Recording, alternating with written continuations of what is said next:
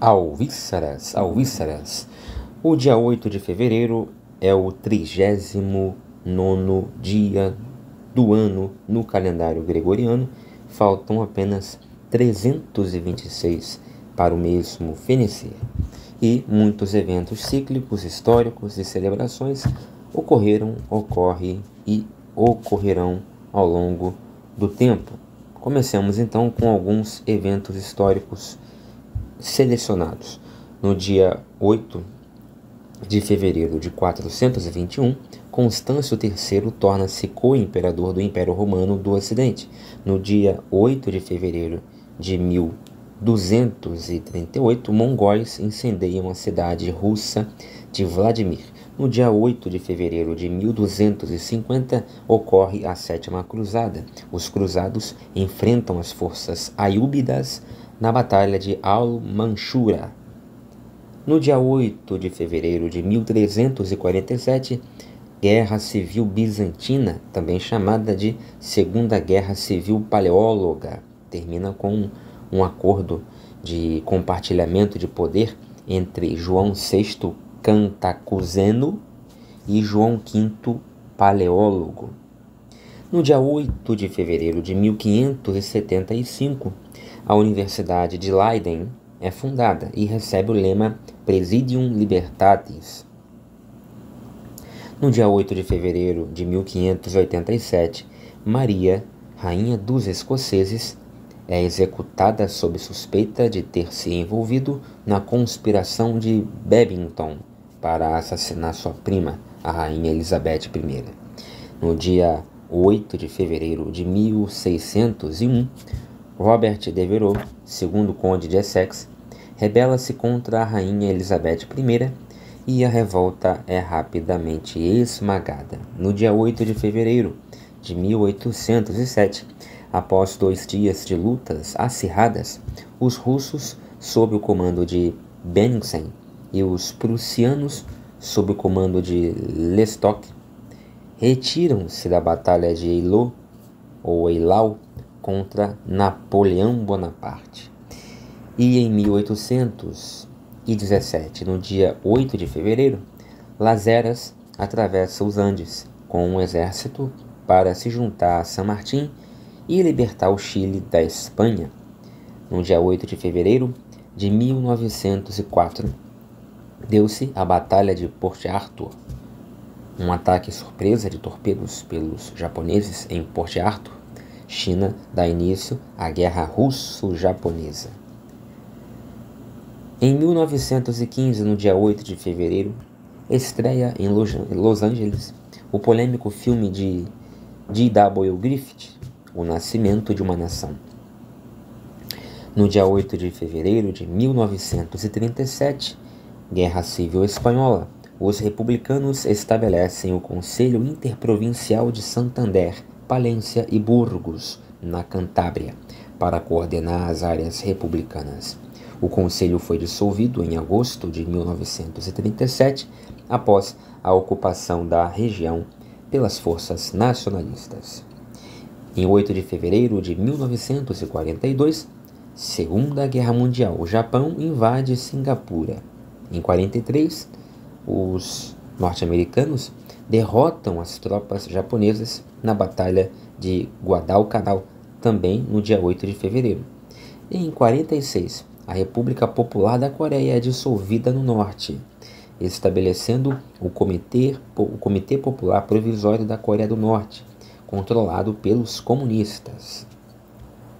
No dia 8 de fevereiro de 1950, ocorre a criação da Stasi, Polícia Secreta da Alemanha Oriental.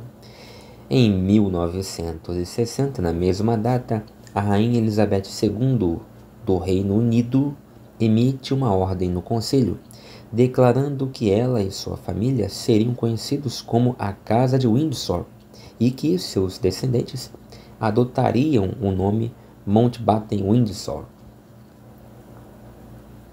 É criada também, nesse mesmo dia, a Calçada da Fama em Hollywood.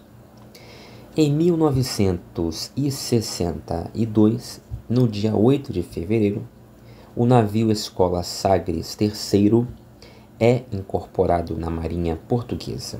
No ano seguinte, regime do primeiro-ministro do Iraque, o brigadeiro general Abdul Karim Qassem, é derrubado pelo Partido Baath.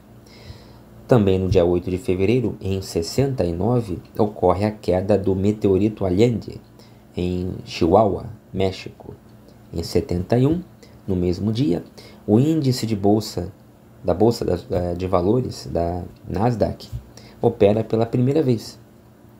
Em 74, no dia 8 de fevereiro, retorna à Terra depois de 84 dias no espaço a tripulação do Skylab 4, a última tripulação a visitar a estação espacial americana Skylab. Em 1985, o ano em que eu nasci, no dia 8 de fevereiro, foi lançado o primeiro satélite de propriedade brasileira, o BrasilSat A1.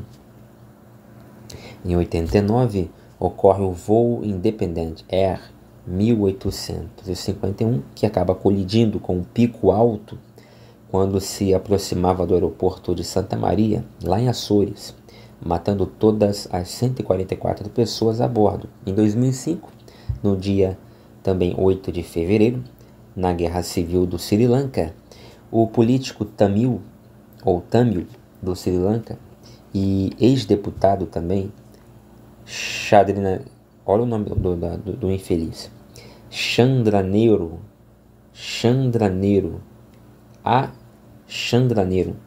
Esse idiota morre de ferimentos sofridos em uma emboscada no dia anterior. Em 2010, uma estranha tempestade nas montanhas Hindu Kush ou Hindu Kush do Afeganistão desencadeia uma série de pelo menos 36 avalanches, soterrando mais de 3 quilômetros de estrada, matando pelo menos 172 pessoas e pretendendo, pretendendo ao meu pau, e prendendo mais de 2 mil viajantes. Em 2013, uma tempestade de neve interrompe o transporte e deixa centenas de milhares de pessoas sem eletricidade no nordeste dos Estados Unidos e em partes do Canadá. Em 2019, no dia 8 de fevereiro, 10 pessoas morrem e 3 ficam feridas em um incêndio ocorrido no centro de treinamento de futebol do Flamengo, do lado da minha casa quase na cidade brasileira do Rio de Janeiro, aqui no bairro de Vargem Grande. Foi um ar-condicionado que explodiu, né? Gerou todo esse, esse incêndio. Em 2020, atentado em Korat, Tailândia, deixa 30 mortos e mais de 50 feridos. Tudo no dia 8 de fevereiro. Vamos então às celebrações cristãs e aos eventos cíclicos que se celebram todos os anos no dia 8 de fevereiro. Comecemos então, comecemos então pelas celebrações.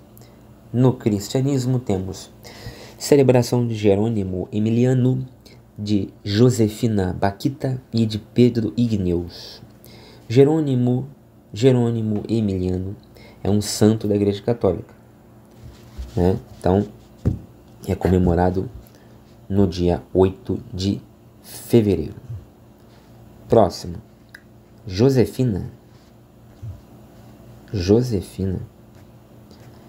Josefina de quê? Josefina Baquita. Josefina Baquita foi uma religiosa italiana da Igreja Católica da Ordem Canociana. Não conhecia essa ordem. Olha aí, ó. É uma negra, né? Aparentemente é uma negra, né? Hum, é bonita, muito bonita. Josefina Baquita. Eu me chamo a atenção a cor da pele dela porque é muito difícil. Não é que seja muito difícil, mas é, é menos comum. Santos negros. Muito bem. E por último, mas não menos importante, Pedros Igneus. Pedro, não, Pedro, Pedro, Pedro Igneus. Pedro Igneus foi um monge beneditino italiano da congregação das Vallombroncians, abade e bispo de Albano Cardial. Ele é muitas vezes referido como um membro da família Aldobrandini, mas esta denominação familiares, familiar né, não é atestada nas fontes contemporâneas. Pedro Igneu. Pedro Igneus. Muito bem. Então, esse foi o dia 8 de fevereiro.